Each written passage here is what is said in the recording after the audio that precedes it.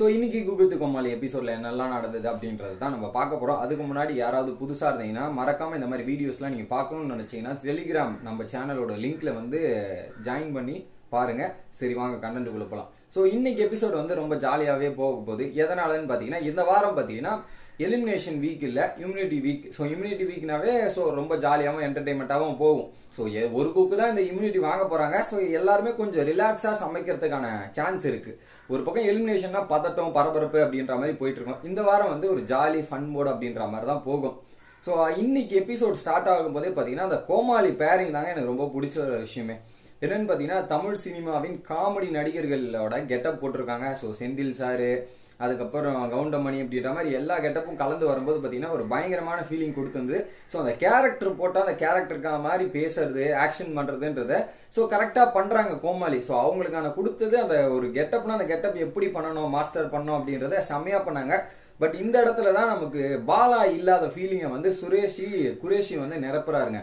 So Bala வந்து எப்பவுமே ஒரு எபிசோட்ல வந்து அந்த ஸ்கிரிப்ட் மாதிரி எடுத்துட்டு வந்து அதை பேசி வச்சு செய்வார். அதை வந்து பாலா இல்லாத இடத்த வந்து குரேஷி நிரப்புனது வந்து செம்மையா இருக்கு. ஸோ போன வீக்கும் பண்ணாரு இந்த வீக்கும் பண்றாரு. ஒரு பயங்கர காம்போவா வேற லெவலா போயிட்டு இருந்தது அப்படியே போயிட்டு இருந்த செலெக்ஷன் வந்து நீங்க பார்த்து தெரிஞ்சுங்க. பயங்கரமான ஒரு செலெக்ஷன் நடந்து முடிஞ்சது. ஸோ ஒரு ஹாப்பியான மூடு தான். அதுக்கப்புறம் செலெக்ஷனுக்கு அப்புறம் அட்வான்டேஜ் ரவுண்ட் ஒன்னு என்னன்னு பாத்தீங்கன்னா ஸோ ரெண்டு வகையான முறுக்கு பண்ண சொல்றாங்க. அதில் வந்து ரவுண்டு முறுக்கு இன்னொன்று அச்சு முறுக்கு. ஸோ ரோஸ் குக்கிக்கு வந்து ரோஸ் குக்கியோட அச்சு கொடுத்துருவாங்க. ரவுண்டு முறுக்கு வந்து குக்கு பண்ணணும்.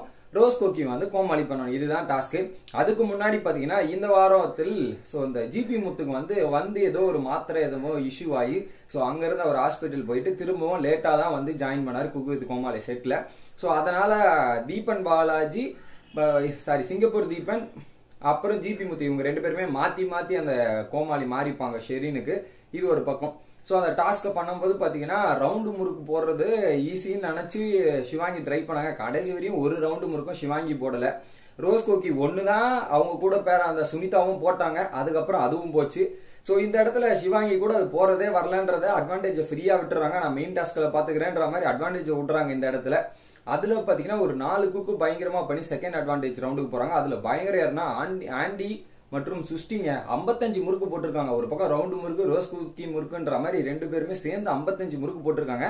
ஃபர்ஸ்ட் செகண்ட் ஸோ அடுத்த அட்வான்டேஜ் ரவுண்டுக்கு போறாங்க அந்த நாலு பேர் யாருன்னு பார்த்தீங்கன்னா சுஷ்டி ஷெரீன் ஆண்டி மற்றும் மைம் கோபிங்க. ஸோ இதில் மைம் கோபிக்கான இந்த நாலு பேருக்கான டாஸ்க் என்னன்னு பார்த்தீங்கன்னா மூணு பூசணிக்காய் கொடுத்துட்றாங்க. அந்த மூணு பூசணிக்காவை வந்து தோல் விரிச்சிட்டு ஸோ அந்த தோலை சீவிடணும். ஸோ அந்த வெறும் பூசணிக்காய் உள்ளே இருக்கிறது மட்டும் தெரியணும் அப்படின்ற மாதிரி வெள்ளை கலர்லேயே அதை வந்து குறிப்பிட்ட டைம்ல யார் முடிக்கிறாங்களோ அப்படின்றத டைம் வருது ஸோ கிட்டத்தட்ட பார்த்தீங்கன்னா ரெண்டு பேருக்கு டஃப் காம்படிஷனுங்க ஒரு ரெண்டு செகண்ட் அந்த ரெண்டு செகண்ட்ல தான் அந்த மேட்ச் அந்த அட்வான்டேஜை ஜெயிச்சாரு. யாருன்னா மைம் கோபி. ஸோ சுஷ்டிக்கும் மைம் கோபிக்கும் டஃப் காம்படிஷன் போயிட்டு இருந்தது.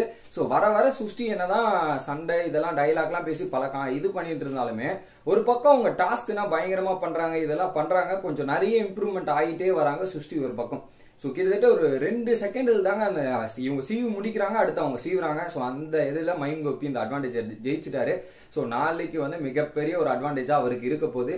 இன்னொரு பக்கம் சுஷ்டி வந்து சுஷ்டியும் புகழ் என்ன பண்ணிட்டாங்க? அந்த அட்வான்டேஜ் கவுண்ட் பண்ணும்போது ஒரு திருட்டுத்தனமாக ஏதோ ஒரு சாப்பிட்டு கிஃப்ட்டு வெங்கடேஷ் பட்டி கிட்ட மாட்டிக்கினாங்க. வெளியே பார்த்தா சண்டை போடுறது உள்ள உட்காந்துட்டு தின்றது இந்த மாதிரி பண்றது. வெக்கமா இல்லை அப்படின்ற மாதிரி கலாய்ச்சி ஒரு பக்கம் தள்ளிட்டு இருந்தாரு. அதை மாற்ற சீன்லாம் பயங்கரமா இருந்தது.